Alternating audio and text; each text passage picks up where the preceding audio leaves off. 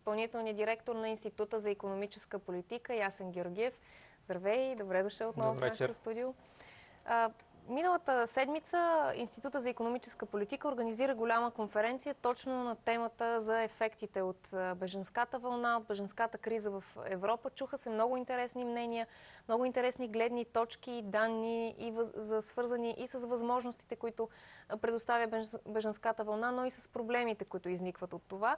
Да започнем с политическия рекурс. Какво ще е политическото отражение на беженската криза у нас и в европейски мащаб. Да, наистина миналата седмица имахме голямо международно събитие, посветено на тази многопластова тема, именно политическите и економическите измерения от беженската криза. И тук трябва да направим а, много добро раз, а, разграничение между какви са ефектите в страните, които са а, целева, целевите страни на бежанците, които преминават през южната и югоизточната част на Европа и страните е, като нас, които са само транзитни.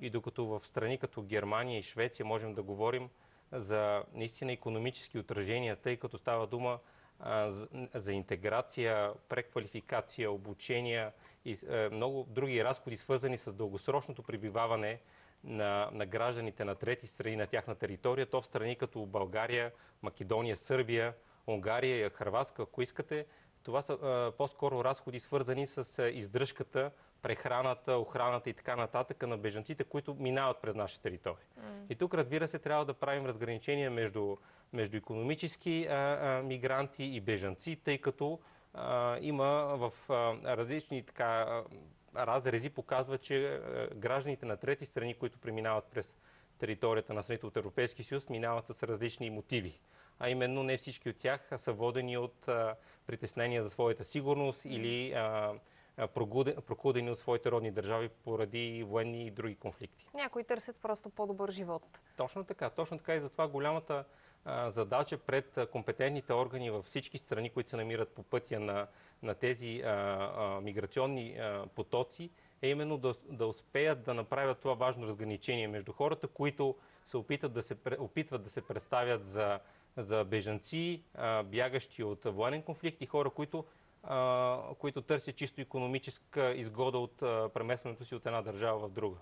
Има ли някакъв ефект върху политическата сцена у нас, тъй като много наблюдатели твърдят, че на европейско ниво беженската криза е един от факторите, който подкрепя крайно десните, популистските настроения, които се надигат, особено в ядрото в момента на Европа. Има ли някакво отражение и у нас?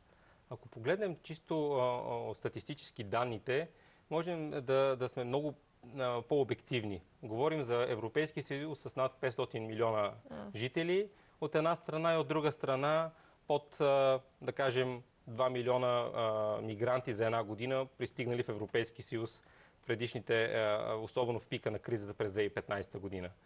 Тоест това не е такъв голям брой хора, които би трябвало да застрашат благосъстоянието и сигурността на страните в, в Европейския съюз. Но съвсем естествено, новото, непознатото и страховете, които са свързани особено с терористичните атаки, които, които, на които станаха свидетели някои европейски градове през изминалите години, подклаждат допълнително опасенията, че, че тази вълна от хора, търсещи по-добър живот, независимо дали е от, заради економически или въпроси свързани с тяхната сигурност, а, задължително а, а, пренася и опасност. Mm. глеждайки към, нашата, а, наша, на, към нашия двор, виждаме, че опасенията са по-скоро преувеличени и се използват по линия на политическото говорене като данните на, на, на държавните институции показват, че лицата потърсили закрива през 2015 и 2016 година в България са относително едни и същи. 2015 година малко над 20 000 души, 2016 година малко над 19 000 души. Тук обаче е, това е голямата разлика между страна като България и страна като Македония. През 2015 година пред нашата съседка минават 800 000 души при население от около 2 милиона души можем да си представим какъв е бил а, беженския натиск там. Докато при нас това са, разбира се, че това са а, стойности, за които стоят човешки животи. Тоест за тези 20 000 души потърсили закрила официално, съдят съдби.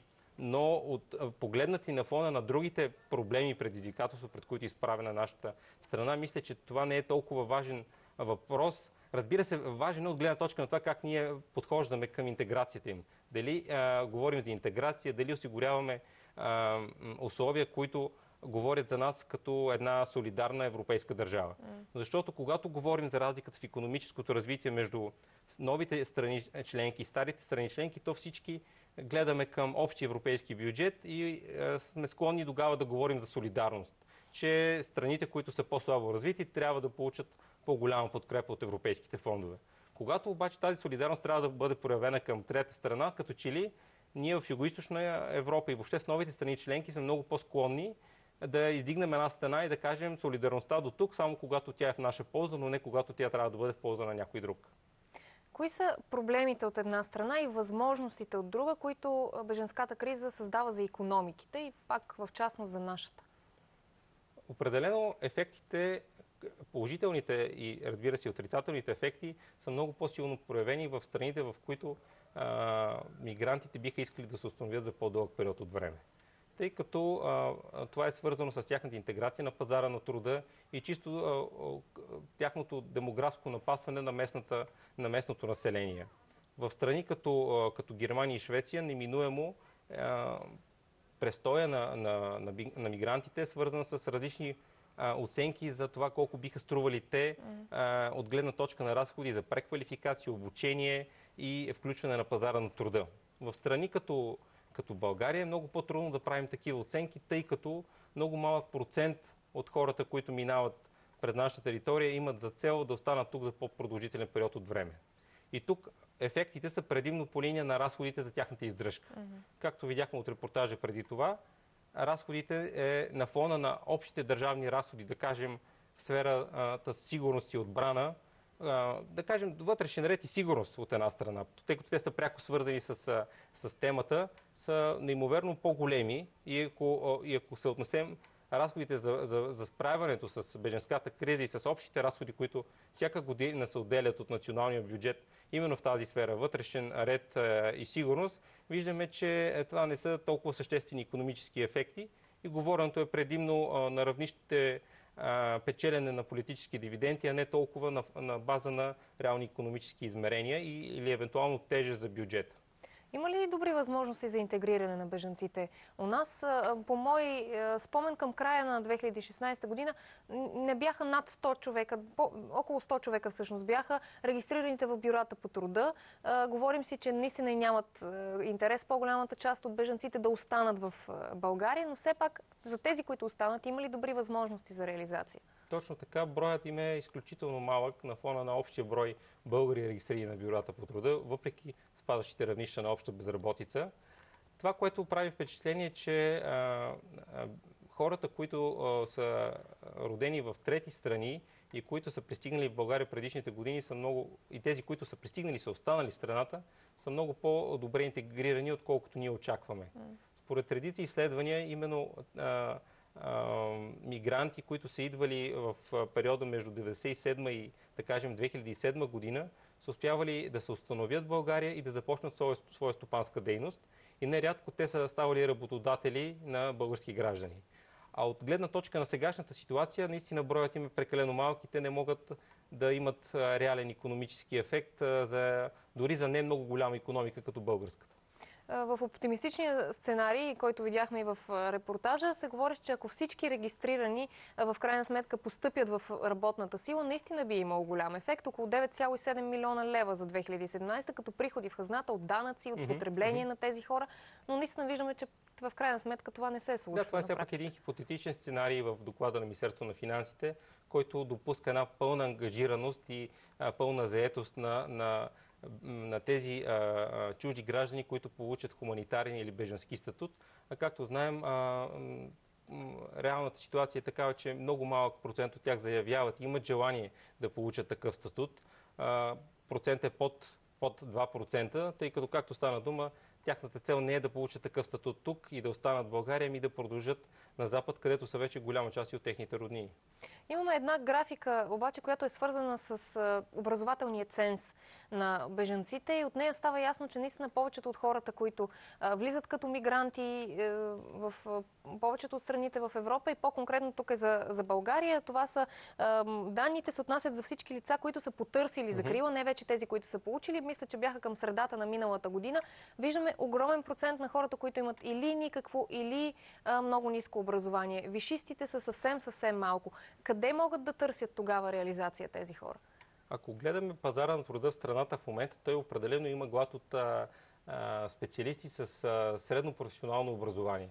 Така че това, че много малък процент от, от лицата имат висше образование, не би трябвало да ни притеснява, тъй като новите работни места в България се отварят именно в такъв вид индустрии и сектори, които изискват много тясна, тесен профил, който не задължително изисква висше образование.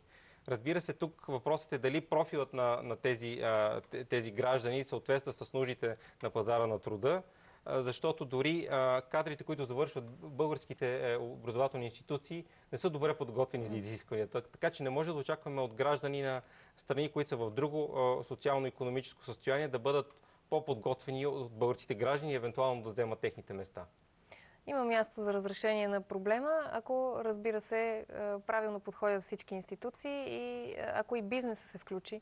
Като... Това, което наблюдавахме в е, Федерална република Германия, инициативи от страна на бизнеса, именно големите асоциации на бизнеса в Федералната република разпознаха в бежанският въпрос възможност за разрешаване на дългосрочният проблем с застаряване на германското население и липсата на достатъчно работна сила тъй като според всички допускания, било то на Евростат или на международни организации, най-многолюдната държава в Европейския съюз сега с население над 81 милиона души, ако не промени по някакъв начин драстично демографската си политика и миграционната си политика, след около 30 години ще има население от около 65 милиона души. А това е сериозно ограничение за, за бизнеса там и затова много немски бизнес асоциации, както споменах, видяха възможност в тази криза и организираха кампании, с които се опитват да насърчат преквалификацията и включването на бежанците, пристигнали в Германия, в техния пазар на труда.